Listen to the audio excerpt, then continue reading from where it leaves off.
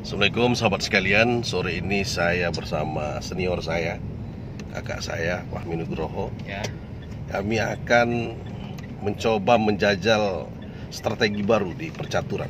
Hmm.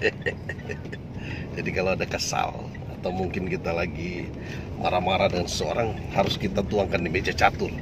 Ya. Bagaimana kak? ya kita akan bermain catur sore ini dengan pembukaan berbagai varian. Jadi Ada, varian apa kak? Hari sore ini kita kan? eh, ada varian Spanyol. Oh Spanyol. Oh yang buka. Kayak yang buka lamo Hebat. itu yang lazim dipakai orang Indonesia itu pakai varian Lopez namanya. Roy Lopez ya? Eh, Rui Lopez. Itu masih juga ini dari Spanyol ya? iya memang orang Spanyol. Oh, jadi memang master-master itu banyak dari Spanyol. oh tidak banyak di negara sebenarnya banyak di negara Rusia Rusia, Mm. Tapi dulu awalnya banyak di negara-negara Latin. Yunani gitu ya. Mm.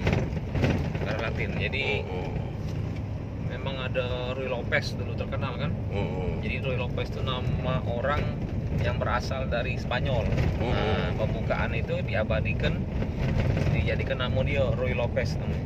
Roy Lopez. Jadi kalau Indonesia pernah nggak menjuarai juara dunia ya? Belum pernah.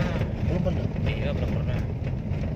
Belum pernah yang dulu catur ini kiblatnya di Rusia. Mm, mm. Jadi Rusia itu selalu menjadi juara dunia. Mm, mm. Nah, lalu di pertengahan tahun 80-an ada negara Amerika namanya Bobby Fischer. Mm, mm. Nah, itu yang yang pernah merebut juara dunia dari ya namanya bro. Dari Rusia, Rusia. Oh kalau di ini kalau Grandmaster tuh yang paling tinggi itu Grandmaster ya? Grandmaster. Mm, Dia sudah menjuarai berapa kali ya?